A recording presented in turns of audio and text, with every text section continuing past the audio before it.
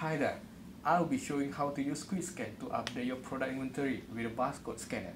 Yes, you heard it right, barcode scanner. To do this, you just need to connect your barcode scanner to your computer or laptop. No configuration is required for this process. Next up, go to QuickScan. You can just get it from the Shopify App Store.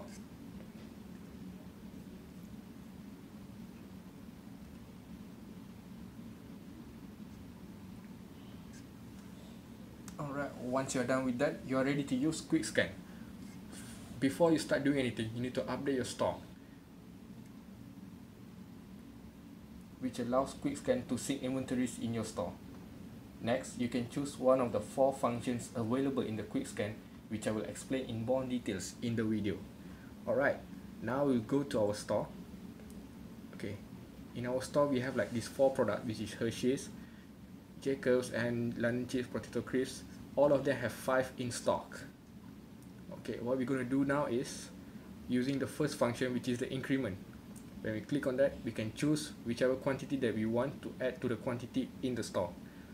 Alright, so before you start scanning any barcode, make sure you click on the input field. The first product will be potato crisp. Now when we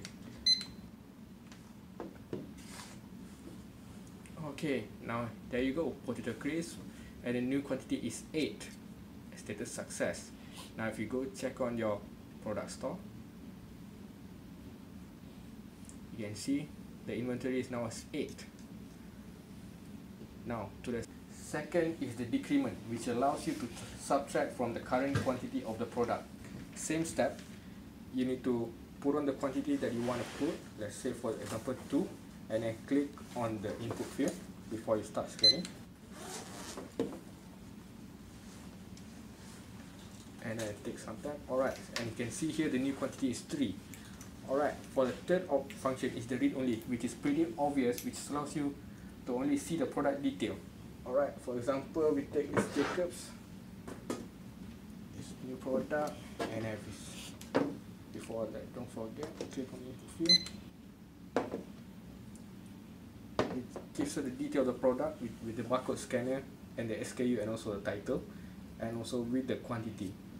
The final function will be the direct update which overrides the quantity of the product is stored with the new quantity you enter. Okay, so we just put 8 here. And don't forget to click the input field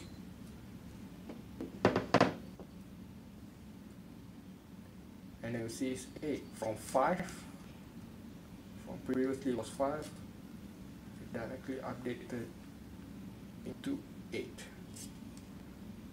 okay now you can see the previous transaction you can also go to the settings and change whether to update product using a barcode or a SKU you can also choose the default update method to be one of these and just click submit. So whenever you open quick scan this will be the default. That will be all. Thank you for watching. Hope you will enjoy using QuickScan.